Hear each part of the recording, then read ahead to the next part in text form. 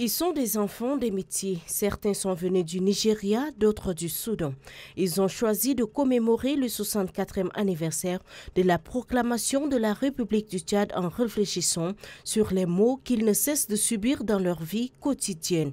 Pour briser le silence, quatre panélistes ont édifié l'assistance sur les formes de discrimination, la position de l'islam par rapport à ce phénomène, les dispositions prises par la loi de la République et les stratégies adopté pour juguler le mal.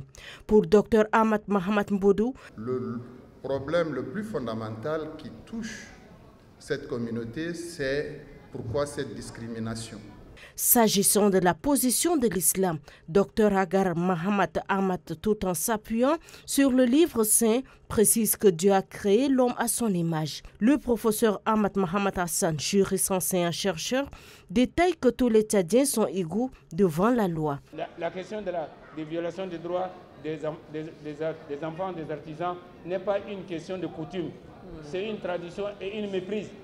Delphine Kemnelum Diraibi, dans son intervention, plaide pour le changement de comportement et de mentalité à tous les niveaux.